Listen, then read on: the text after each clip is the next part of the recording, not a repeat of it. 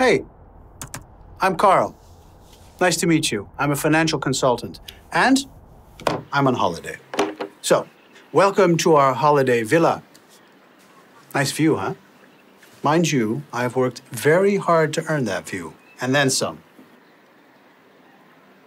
You know, there didn't used to be any houses here, but I came here a lot then too, so I know the natural environment inside out.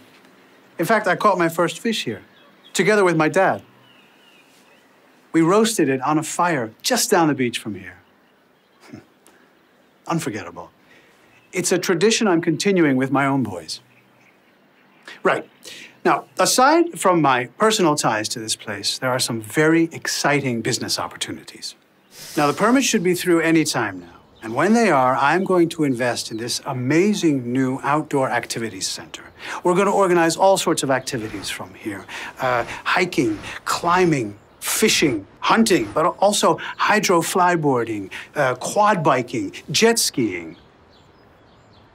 Not everybody is happy with our new plans. Too big, changes the character of the area, etc., etc. but I'm no fool. I know that people won't come back here unless the place remains green and peaceful. You see, that's the power of the free market. You have to offer quality, but then you have to work efficiently and think big. And as far as I'm concerned, you can apply this principle to nature as well by managing agricultural areas smartly, efficiently, and on a large scale. It's the only way we can continue to feed the world's population and still have room for nature. Now, the same applies to water.